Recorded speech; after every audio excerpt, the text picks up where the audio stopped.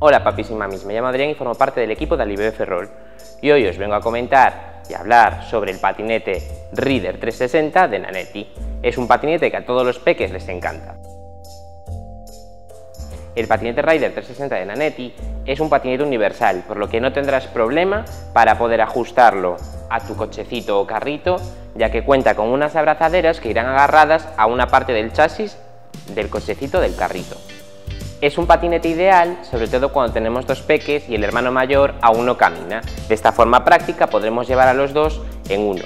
A mayores, el asiento es extraíble, por lo que tu peque podrá ir con los piececitos encima agarrado al cochecito carrito y así ir viendo el paisaje. El patinete está homologado para hasta 25 kilos, por lo que tienes un gran rango de edad para poder utilizarlo con tus peques. Hemos traído este muñequito, aunque no corresponde con la edad, para que te hagas una idea de cómo quedaría sentado tu peque en el patinete. Como lo dice el nombre, es giratorio y está súper, súper bien, ya que simplemente tirando de aquí abajo podrás colocar a tu peque de la forma que tú quieras.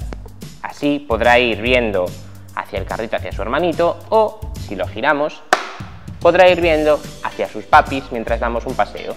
Este patinete tiene un sistema de seguridad de arnés de tres puntos, por lo que ajustándolo bien, tu peque irá bien sujeto para que no se caiga. El asiento del patinete está acolchadito, de tal forma de que irá tu peque aquí súper cómodo y consta de un respaldo alto para que vaya con la espalda bien colocada y recta.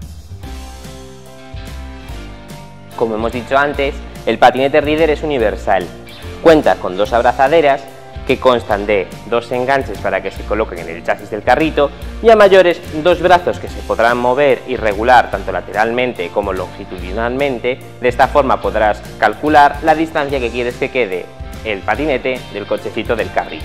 Es muy simple, vamos a verlo. Para engancharlo tenemos este sistema de, sujeción.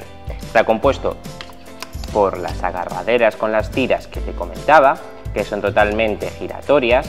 Tenemos dos brazos que se pueden regular a lo ancho y a mayores tenemos este nodo que si pulsamos estos dos botones podemos subir o bajar un poquito para así poder regular la altura de tu cochecito. A mayores podemos controlar también la distancia longitudinal apretando este botón y tirando, de tal forma que tenemos una, dos, tres posiciones. De un lado y una, dos y tres del otro.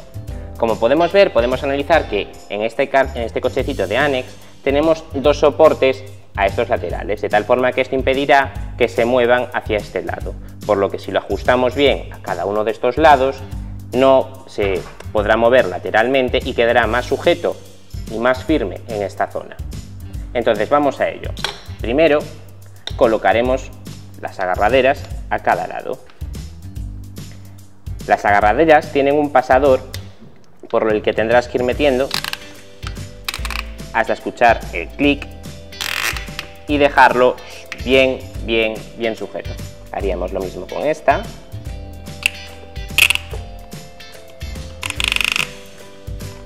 Tiraríamos hasta dejarlo bien tenso. Así está.